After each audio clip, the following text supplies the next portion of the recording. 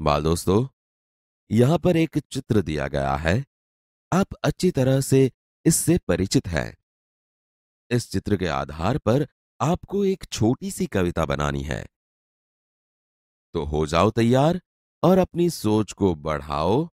जैसे सुबह सुबह सूरज निकलता, सूरज का स्वागत करने फूल खिलता।